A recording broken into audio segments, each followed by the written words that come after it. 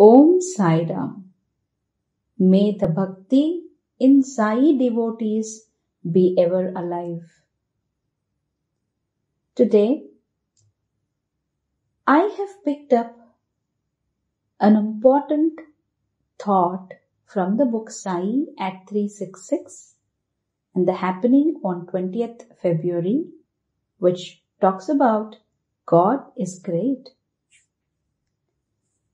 Sai Baba, while talking to people on February 20th in the year 1912, said several times that God is great than anyone else.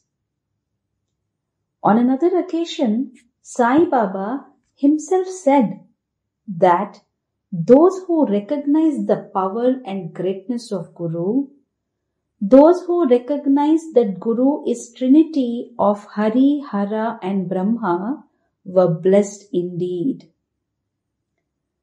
Guru never says that he is more powerful than God. Sai Baba has shown many miracles while he was alive in body, but never spoke about his own greatness. Instead, he used to say all his powers are blessings of his Guru and through God's grace.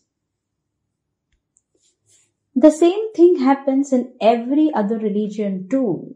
For example, Fariduddin Gand guru was Kutubuddin Bakhtiyar Kaki.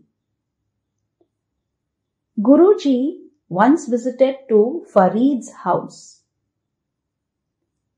Guru was habituated to complete his daily rituals with hot water. As such, Farid had made arrangements. That night it was raining. There was no light. Total darkness was spread all around. In Farid's house there was no fire at all. Now he was worrying that how could he arrange hot water to his guru. After the rain stopped, he started searching for fire. There was a fire twinkling at a distance. He rushed to the place where he saw the fire and he knocked the door. Then a lady opened the door and said to him that this is a house of a prostitute and asked, Why did you come here? He narrated the reason. But you have to pay more money, she told him. I don't have money, he said in a sad tone. If you want fire, then one eyeball out of two eyeballs should be given to me, was demanded by the lady of the house. Immediately he removed the eyeball with a knife and took the fire home that she has given him. Soon it was morning and Farid was ready with the hot water for his guru. The guru asked, What was the bandage to the eyes?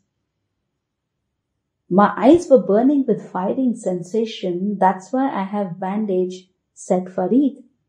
Everything was good. Please remove the bandage at once, instructed Guru. He opened the bandage.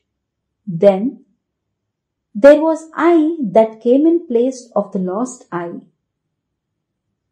The disciple was astonished.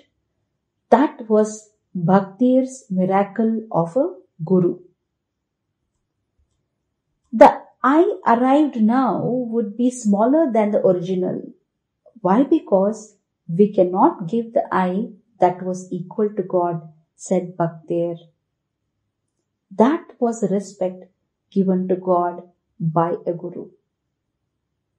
The moral is